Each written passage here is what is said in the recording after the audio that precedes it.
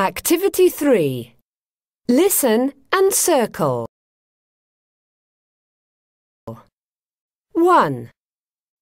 What is in Peter's souvlaki? What's in your souvlaki, Peter? There's meat, yogurt, and tomatoes too. Are there any onions? No, there aren't. I don't like onions. 2. What does Mary want for dinner? Mary, do you want noodle soup for dinner? No, Mum. Can I have noodles with vegetables, please? Noodles with vegetables? Yes, please. 3. What is Pierre eating?